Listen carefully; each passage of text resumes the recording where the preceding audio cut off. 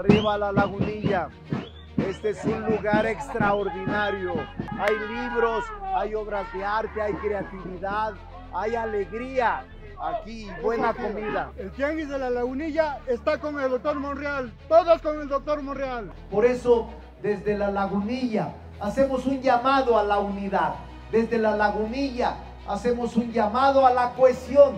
Cerremos filas en torno al presidente López Obrador. Debemos respaldar este movimiento y debemos generar condiciones para continuar, para ratificar el triunfo. Arriba el comercio, arriba los mercados, arriba los viajes.